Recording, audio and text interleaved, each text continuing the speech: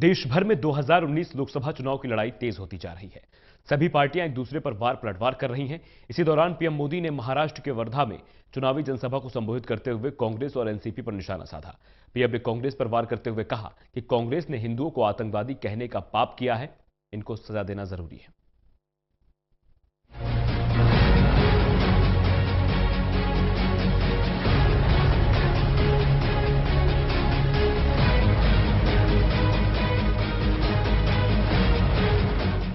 लोकसभा चुनाव 2019 की लड़ाई अब तेज होती जा रही है। सोमवार को प्रधानमंत्री नरेंद्र मोदी ने महाराष्ट्र के वर्धा में चुनावी जनसभा को संबोधित किया।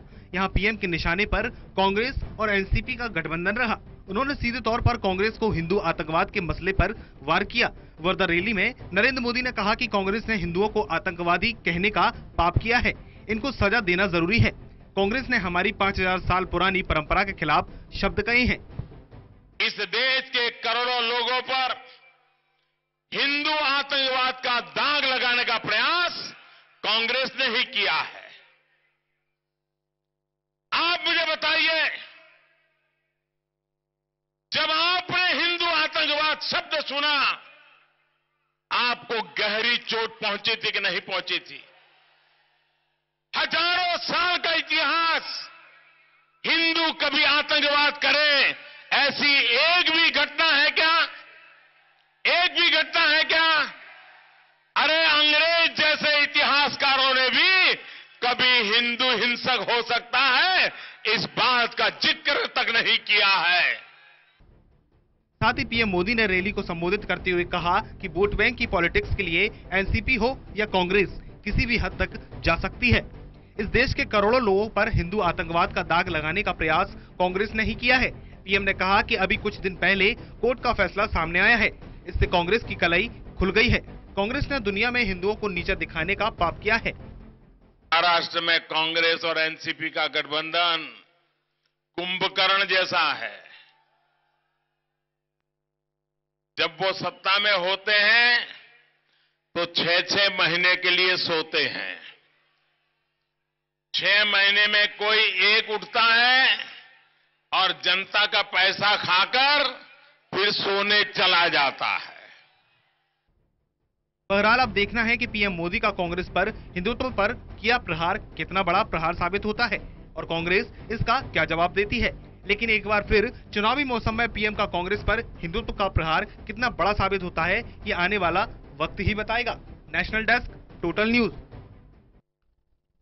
Lok Sabha चुनाव 2019 के लिए कांग्रेस कल मंगलवार को अपना घोषणा पत्र जारी करेगी। कांग्रेस के वरिष्ठ नेता केसी वेणुगोपाल ने सोमवार को बयान जारी कर इसकी जानकारी दी है। उन्होंने बताया कांग्रेस अध्यक्ष राहुल गांधी दिल्ली स्थित पार्टी कार्यालय में घोषणा पत्र जारी करेंगे। माना जा रहा है कि वोटरों को रिझाने के लिए कांग्रेस अपने घोषणा पत्र में कई बड़े ऐलान कर सकती है।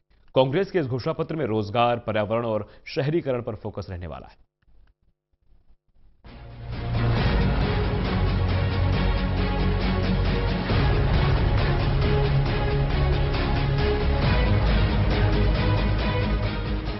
लोकसभा चुनाव को लेकर राजनीतिक दलों की मुहिम रफ्तार पकड़ती जा रही है। कांग्रेस इसे और धार देने जा रही है। कांग्रेस मंगलवार को लोकसभा चुनाव के लिए घोषणा पत्र जारी करेगी। कांग्रेस के वरिष्ठ नेता केसी वेणुगोपाल ने सोमवार को बयान जारी कर इसकी जानकारी दी। उन्होंने बताया, कांग्रेस अध्यक्ष राहुल गांधी दिल्ली स्थित पार्टी कार्यालय में घोषणा पत्र जारी करेंगे। ऐसे में सूत्रों से मिली जानकारी के आधार पर माना जा रहा है कि कांग्रेस अपने मैनिफेस्टो में कई और बड़े ऐलान कर सकती है। एनवाईएवाई योजना गरीब परिवारों को प्रतिवर्ष बहत्तर हज़ार रुपए दिए जाने का वादा। सौ दिन की गारंटी शहरी रोज़गार कार्यक्रम के साथ प्रतिमाह दस हज़ार रुपए तक कमाने का अवसर दिए जाने का वादा। स्वास्थ्य का अधिकार, इससे प्रत्येक नागरिक को इलाज के लिए अस्पताल जाने का अवसर मिलेगा। यह एनडीए सरकार के आयुष्मान भारत से अलग होगा। शहरी क्षेत्रों में रोज़गार का अधिकार दिए जाने का वादा।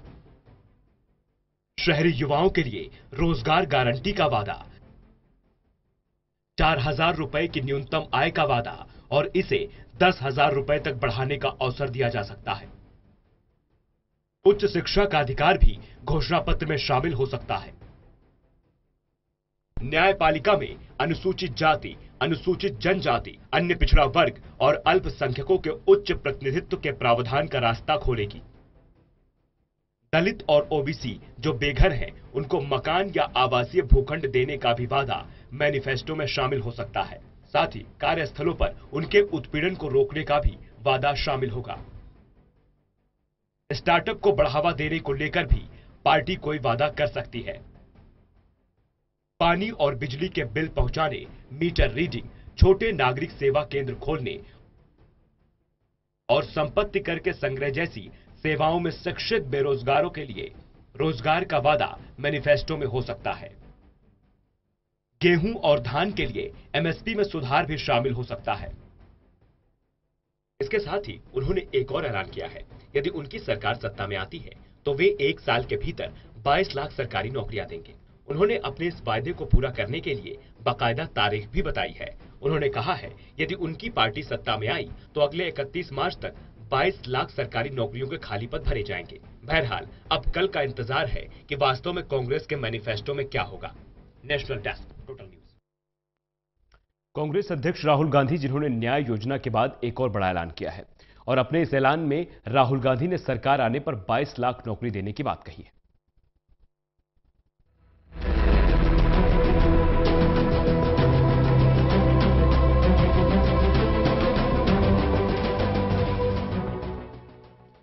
शुरुआती दिनों में चुनावी मुद्दों से दूर नज़र आ रहा रोज़गार का मुद्दा अब वापस जगह बनाता दिख रहा है। और इसे मुद्दा बना रहे हैं कांग्रेस अध्यक्ष राहुल गांधी, जिन्होंने न्याय योजना के बाद एक और बड़ा ऐलान किया है। और अपने इस ऐलान में राहुल गांधी ने सरकार आने पर 22 लाख नौकरी देने की बात कही है। राहुल गांधी ने नरेंद्र मोदी पर रोज़गार देने में फेल होने का आरोप लगाते हुए नौकरी का बड़ा ऐलान किया। और कहा कि अगर केंद्र में उनकी सरकार बनती है तो एक साल के अंदर 22 लाख सरकारी नौकरी दी जाएगी। राहुल गांधी ने अपने वायदे के साथ इसे पूरा करने की बकायदा तारीख भी बताई है। राहुल ने कहा है कि उनकी पार्टी सत्ता में आई तो अगले साल 31 मार्च तक 22 लाख सरकारी नौकरियों के पद भी दिए जाएँगे।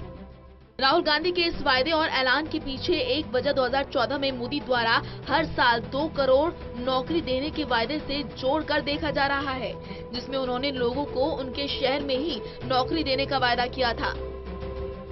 राहुल गांधी ये अच्छी तरह जानते हैं कि युवा बेरोजगार है और सरकार अपने वायदे को पूरा करने में सफल नहीं हो पाई है। इसीलिए उन्होंने अब 22 लाख नौकरी देने का वादा किया है। मोदी सरकार को रोज़गार के मुद्दे पर घेरने वाले राहुल गांधी ने ये वादा लोकसभा चुनाव के लिए होने वाले पहले चरण के मतदान से 10 दिन पहले किया है, जो काफ़ी महत्वपूर्ण माना जा रहा है। राहुल गांधी ने ये वादा एक ट्वीट के ज़रिए किया। राहुल ने अपने ट्वीट में लिखा है कि मौजूदा वक्त में करीब 22 लाख सरकारी नौकरियों के लिए पद खाली हैं। राहुल ने कहा कि अगर उनकी पार्टी सत्ता में आई तो 31 मार्च 2020 तक इन सभी पदों को भरा जाएगा। हाल ही में राहुल गांधी ने नए बिज़नेस शुरू करने वाले युवाओं के लिए भी कई बड़े ऐलान किए थे।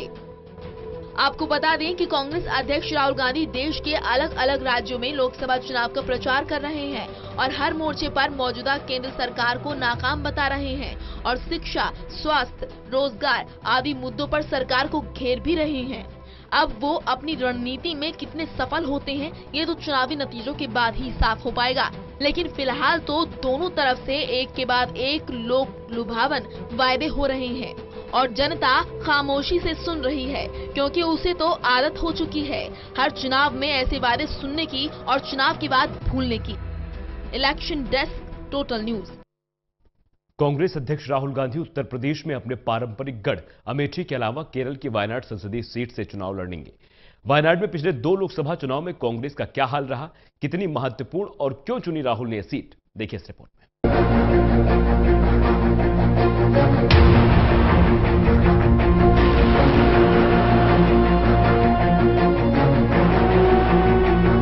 कांग्रेस अध्यक्ष राहुल गांधी उत्तर प्रदेश में अपने पारंपरिक गढ़, अमेठी के अलावा केरल की वायनाड संसदीय सीट से भी चुनाव लड़ेंगे। पार्टी का कहना है कि राहुल ने प्रदेश इकाई के अनुरोध के बाद वायनाड से लड़ने पर सहमति जताई है।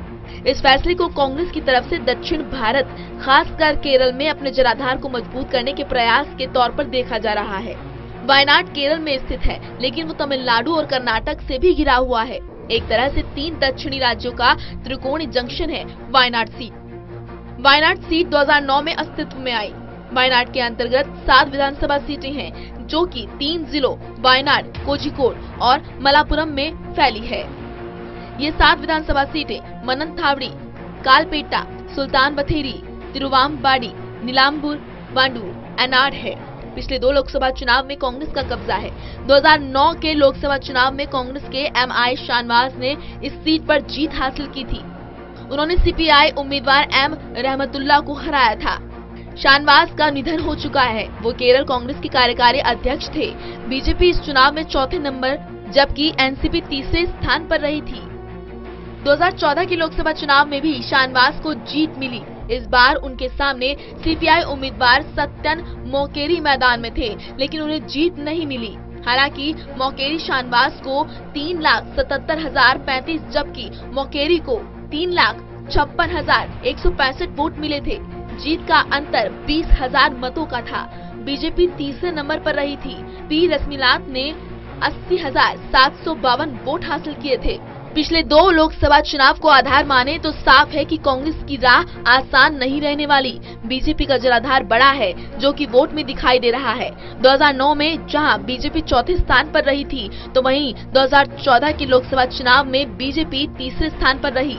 देखना होगा कि क्या राहुल गांधी इस सीट पर कांग्रेस की हैट्रिक लगवाने में सफल होंगे या नहीं। Special desk, total news.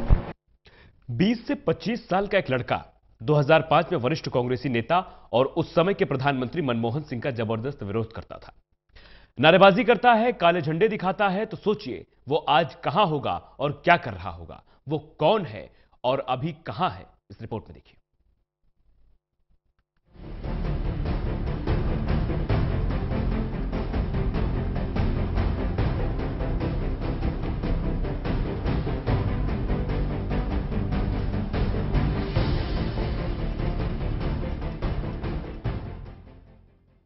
साल था 2005 कांग्रेस की सरकार बने, एक साल ही हुआ था। उसी दौरान एक कम उम्र का लड़का, जिसकी उम्र महज 20 से 25 साल रही होगी, वरिष्ठ कांग्रेसी नेता और उस समय के प्रधानमंत्री मनमोहन सिंह का ज़बरदस्त विरोध करता है, नारेबाजी करता है, काले झंडे दिखाता है। तो सोचिए, वो आज कहाँ होगा और क्या कर रहा होगा? तो जनाब, अब वो नौजवान कांग्रेस में ही एक अहम ज़िम्मेदारी निभा रहा है। राहुल गांधी के भाषण लिख रहा है।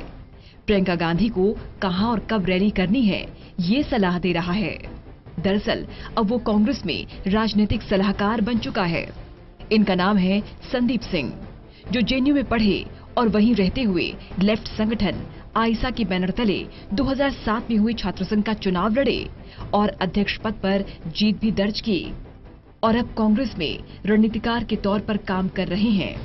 हालाँकि संदीप सिंह को अभी कांग्रेस अध्यक्ष के राजनीतिक सलाहकार का पदनाम नहीं मिला है, पर उनके भाषण आजकल वही लिखते हैं।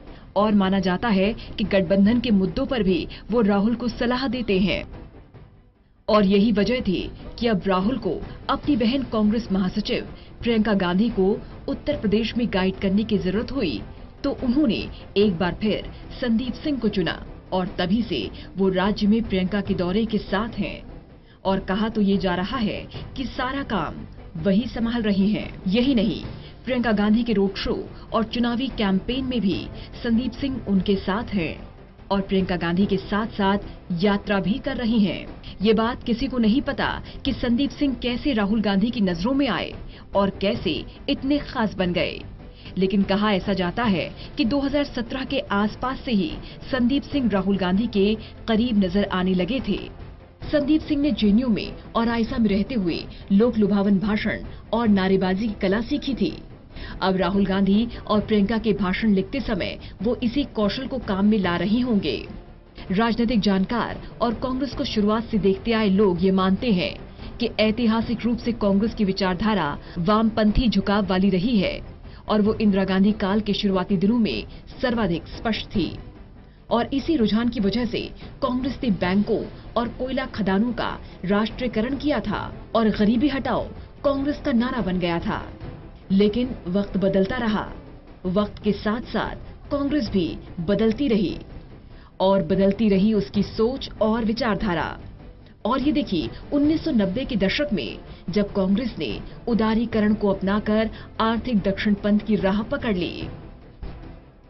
बहरहाल, अब ये तो भविष्य ही बताएगा कि कांग्रेस के शीर्ष नेताओं के हालिया बयान, पार्टी के अपनी जड़ों की ओर लौटने की निशानी है। या ये मात्र संदीप सिंह के प्रभाव का परिणाम है। लेकिन फ़िलहाल तो कांग्रेस सभी को एकजुट करने में और अपनी खोई ज़मीन वापस पाने में लगी हुई है। Election desk, total news.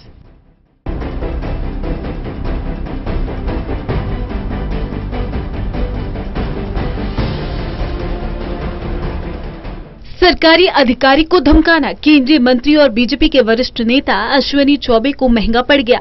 Police ने सरकारी कार्य में बाधा डालने, अमर्यादित भाषा का प्रयोग करने और आचार संहिता का उल्लंघन करने के आरोप में अश्विनी चौबे और बीजेपी नेता राणा प्रताप सिंह समेत 150 लोगों के खिलाफ आईपीसी की कई धाराओं के तहत एफआईआर दर्ज की है। जानकारी के मुताबिक अश्विनी चौबे के काफिले में तीन दर्जन से भी ज़्यादा गाड़ियाँ थी। जब इसको लेकर स्थानीय एसडीएम के उपाध्यक्ष ने कार्रवाई करनी चाहिए तो अश्विनी चौबे उनसे उलझ गए। दोनों के बीच जुबानी जंग भी हुई। मिली जानकारी के मुताबिक अश्विनी चौबे समेत 150 बीजेपी कार्यकर्ताओं के खिलाफ सरकारी अधिकारी के काम में बाधा पहुँचाने को लेकर प्राथमिक दर्ज कराई गई। एफआईआर है। अब उनके खिलाफ चुनाव आयोग संज्ञान ले सकता है। दरअसल ये पूरा मामला 30 मार्च का है, जब भारतीय जनता पार्टी के उम्मीदवार और केंद्रीय मंत्री अश्विनी चौबे ने बिहार के बक्सर में लोकसभा चुनाव 2019 के मद्देनजर चुनाव आचार संहिता का न सिर्फ़ उल्लंघन किया, बल्कि अधिकारी से बदसलूकी भी की। शनिवार को चुनावी कार्यक्रम में जाते वक्त जब आचार संहिता का उल्लंघन करने पर बक्सर के एसडीएम ने उनके काफिले को रोका तो केंद्रीय मंत्री अश्विनी कुमार चौबे बौखला गए और चौबे ने अधिकारी से कहा कि किसका आदेश है, जिस पर अधिकारी ने कहा कि चुनाव आयोग का, जिसके बाद अश्विनी चौबे कहने लगे, ये गाड़ी मेरी है, हिम्मत है तो जेल भेजो, चलो जेल भेजो, तमाशा करते हैं आप लोग। बहरहाल अब देखना है कि चुनाव आयोग और कोर्ट इस मामले पर क्या संज्ञान लेता है। National desk, total news. अंतरिक्ष की दुनिया में भारत लगातार इतिहास रचता जा रहा है। हाल ही में भारत ने अंतरिक्ष की दुनिया में एक नया इतिहास रचा था, जब भारत ने स्पेस में एक मूविंग सैटेलाइट को मारने का सफल परीक्षण किया था, और ऐसा करने वाला भारत अमेरिका, रूस और चीन के बाद दुनिया का चौथा देश बना था। अब इसरो ने एक बार फिर नया कीर्तिमान स्थापित किया है। आज इसरो ने पीएसएलवी यानी कि भारतीय rocket polar satellite launch vehicle द्वारा इलेक्ट्रॉनिक इंटेलिजेंस उपग्रह एमीसैट का प्रक्षेपण किया।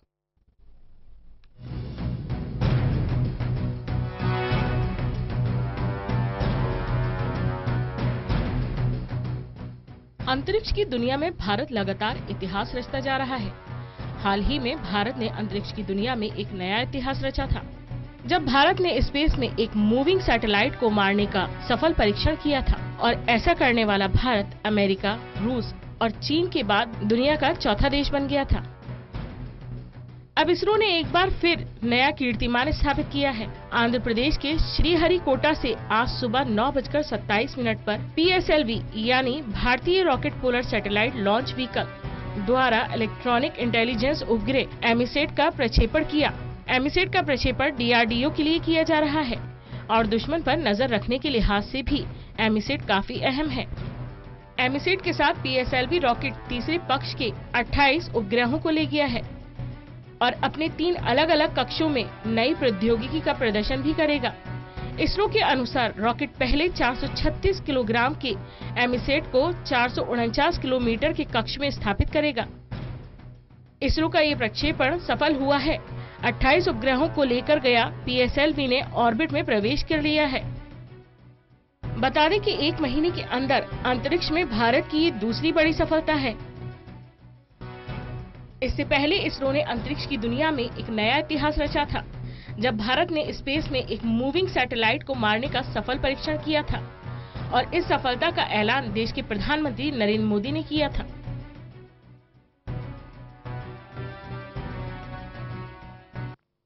आज की anti satellite A SAT missile Bharat की सुरक्षा की दृष्टि से और भारत की विकास यात्रा की दृष्टि से देश को एक नई मजबूती देगा।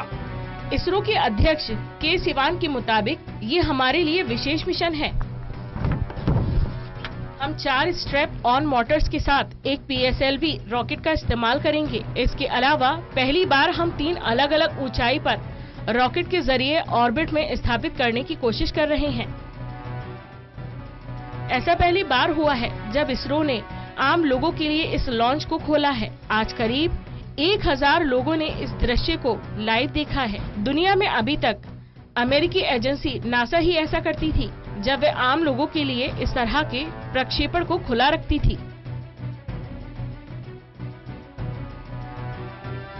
एमिसेट सुरक्षा के नज़रिए से भी भारत के लिए बहुत अहम है, क्योंकि इसे इसरो और डीआरडीओ ने मिलकर बनाया है और इसका खास मकसद पाकिस्तान की सीमा पर इलेक्ट्रॉनिक या किसी तरह की मानवीय गतिविधि पर नज़र रखना है।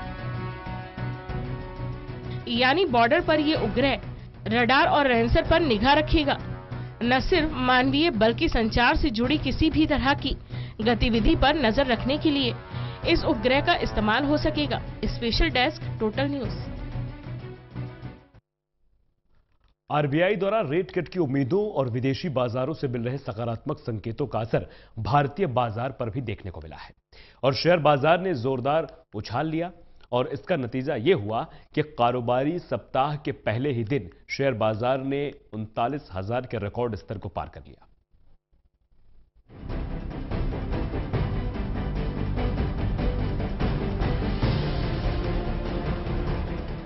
आरबीआई द्वारा रेट कट की उम्मीदों और विदेश बाजारों से मिल रहे सकारात्मक संकेतों का असर भारतीय बाज़ार पर भी देखने को मिला और शेयर बाज़ार ने जोरदार उछाल लिया। और इसका नतीजा ये हुआ कि कारोबारी सप्ताह के पहले ही दिन शेयर बाज़ार ने उनतालीस हज़ार के रिकॉर्ड स्तर को पार कर लिया। मुंबई स्टॉक एक्सचेंज का 30 शेयरों वाला संवेदी सूचकांक सेंसेक्स एक सौ पिचासी दशमलव संतानवे अंकों की तेज़ी के साथ तीस हज़ार आठ सौ अट्ठावन पर खुला। और शेयर बाज़ार में जोरदार खरीदारी के कारण बाज़ार ने तुरंत उनतालीस हज़ार की ऊंचाई को पार कर लिया। नेशनल स्टॉक एक्सचेंज का निफ्टी ने भी जोरदार तेज़ी आई। यू नो ये मोमेंटम बरकरार रहेगा। उसके बाद इलेक्शंस पे हम लोग जाएँगे। लेकिन फ़िलहाल ऐसा लग रहा है कि आपने देखा है कि फॉरेन पोर्टफोलियो इन्वेस्टर्स ने एक लगातार खरीदी की है। और और उसका रीज़न ये है कि यूएस फेड का जो लैंग्वेज रहा है, जो स्टैंड रहा है, वो ये रहा है कि इतने हॉकिश नहीं होंगे और इतने रेट हाइक जो उम्मीद रखी जाती थी, उतने नहीं आएँगे आने वाले दिनों में। और जिसको चलते ही एमर्जिंग मार्केट के लिए अच्छी खबर है। और एमर्जिंग मार्केट में भारत एक स्वीट स्पॉट में है तो उस वजह से भारत ने ज़्यादा अट्रैक्ट किया है और one of the best performance जहाँ तक करेंसीज कंसर्न एंड मार्केट्स वहीं आर्थिक गतिविधियों को बढ़ावा देने के लिए रिज़र्व बैंक की ओर से ब्याज दरों में कटौती किए जाने के अनुमान से निवेशक उत्साहित बताए जा रहे हैं। इसके साथ ही दूसरी बड़ी वजह सकारात्मक विदेशी संकेतों और घरेलू मुद्रा में आई मजबूती से भी बाज़ार को सपोर्ट मिला है और जोरदार लिवाली देखी जा रही है। सुबह करीबन 10 बजे 335 अंकों के उछाल के साथ सेंसेक्स उनतालीस हज़ार के स्तर पर पहुँचा। तो निफ्टी भी रिकॉर्ड ऊंचाई के करीबन 11,700 के पार कारोबार कर रहा था। बता दें कि 9 अगस्त 2018 को सेंसेक्स पहली बार अड़तीस हज़ार के पार गया था। बाज़ार में तेज़ी की अहम वजह धातु, वाहन और वित्तीय कंपनियों के शेयरों में तेज़ी और वैश्विक संकेतों का सकारात्मक रुख है। ब्रोकर के अनुसार, चीन, अमेरिका के बीच व्यापार वार्ता के चलते एशियाई बाजारों में सकारात्मक रुख देखा गया। इसके अलावा, मार्च में चीन विनिर्माण गतिविधियाँ बढ़ी हैं। इसका भी असर घरेलू बाज़ार पर पड़ा है। बहरहाल, शेयर बाज़ार की इस तेज़ी का असर निवेशकों पर कितना होता है और उन्हें कितना फ़ायदा मिलता है, ये आने वाला कुछ दिनों में साफ़ हो जाएगा। लेकिन आज और हाल के कुछ दिनों में बाज़ार के उतार चढ़ाव ने ये साफ़ कर दिया है कि चुनाव तक शेयर मार्केट में उतार चढ़ाव जारी रहने वाला है। Special desk, total news.